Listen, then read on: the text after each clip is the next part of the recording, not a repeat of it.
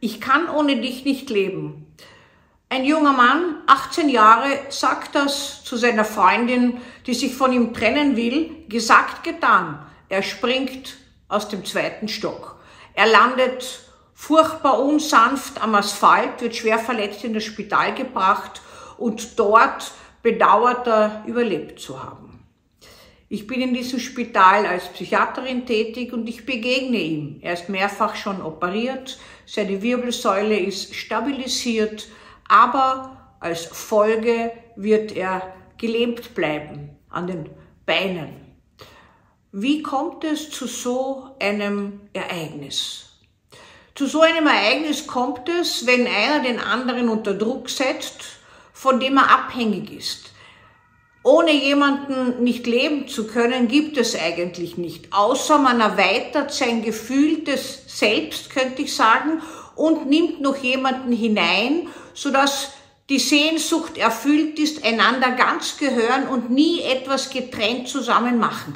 Es ist das aus der Entwicklungspsychologie ein ganz frühes Stadium, Säugling, Mutter, vielleicht noch früher, Schwangerschaft im Bauch der Mutter, ganz umhüllt, immer zusammen, also nie getrennt. Es ist etwas, das manche Menschen im Leben so schwer lernen. Auf sich selbst gestellt sein und getrennt vom anderen sein.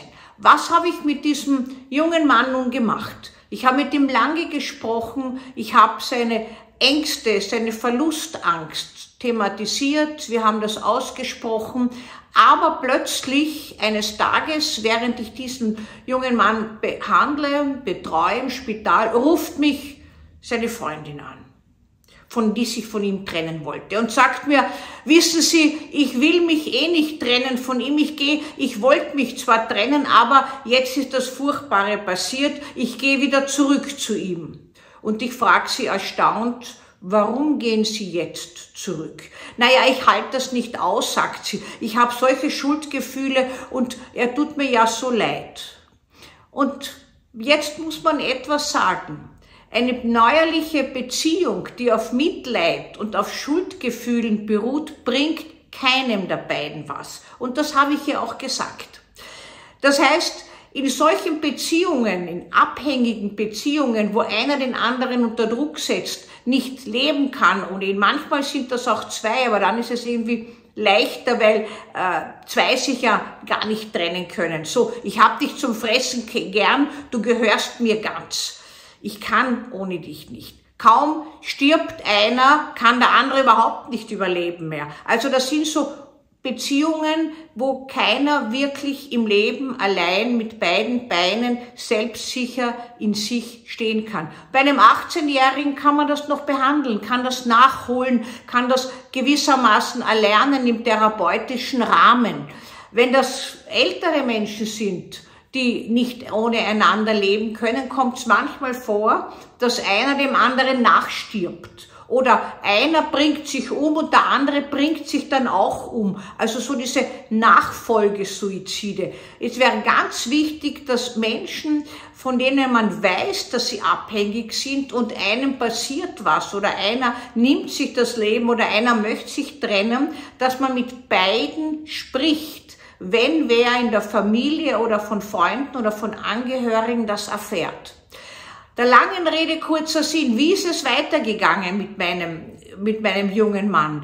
Ich habe mit ihm lange weitergesprochen, er ist Monate im Unfallspital gelegen, hat dann gelernt, mit einem Rollstuhl zu fahren und war eigentlich lebensmüde. Er hat sehr bedauert, das, was er gemacht hat. Noch mehr hat er bedauert, dass er überhaupt überlebt hat. Und auch bedauert hat er, dass die Beziehung trotzdem nicht zu retten war, weil es war so ein bisschen seine Fantasie, dass er dadurch nämlich seine Beziehung retten könnte. Ich habe auch versucht, ein bisschen zu beleuchten, woher diese Angst kommt woher diese Verlassenheitstrennungsangst kommt. Und wir sind schrittweise auf einen sehr guten Weg gekommen. Er hat allmählich annehmen können, seine Situation, das geht natürlich mit Annehmen und Rückschritten und Bedauern und ist dann in ein Rehabzentrum gekommen, wo alle querschnittsgelähmt sind. Die einen sind schon können gar nicht frei atmen. Die anderen haben alle vier Extremitäten, also Arme und Beine gelähmt und natürlich auch Blase und Darm, aber auch das lässt sich reflexartig erlernen, die Entleerung. Und er war auch so offen und hat mir erzählt, er hat so panische Angst davor, dass er ausgegrenzt wird im Leben. Und wir haben weiterhin die Behandlung fortgesetzt, auch im Rehabzentrum. Und dann irgendwann ist er entlassen worden, hat gemeint, also er komme jetzt selbst zurecht und hat sich bedankt bei mir. Ich habe dann jahrelang nichts mehr gehört, er ist mir immer eingefallen. Und ich habe ihn dann nach fünf Jahren wieder getroffen auf der Straße. Ich hätte ihn gar nicht erkannt, muss ich sagen. Ein bunter Rollstuhl, ein lockiger, lockig behaarter junger Mann, der von einem wunderschönen Mädchen, einer jungen Frau gefahren wird. Und er hat mich angesprochen, Frau Doktor, können Sie sich an mich erinnern?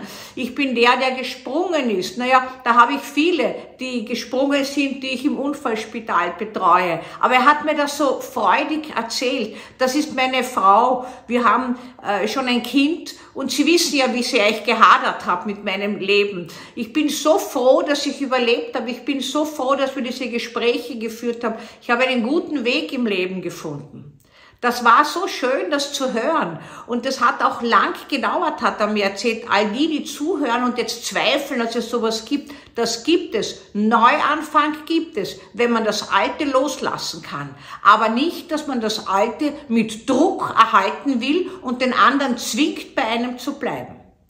Das war eine schöne Geschichte für mich, die ich durch diesen jungen Mann, den ich da behandelt habe, erlebt habe und der mich dann später angesprochen hat. Ich wollte sie mit Ihnen teilen. Wenn Sie wollen, dass mehrere solche Geschichten andere auch hören, dann bitte abonnieren Sie meinen Kanal und sagen Sie es Ihren Freunden und Bekannten, dass ich solche Videos mache.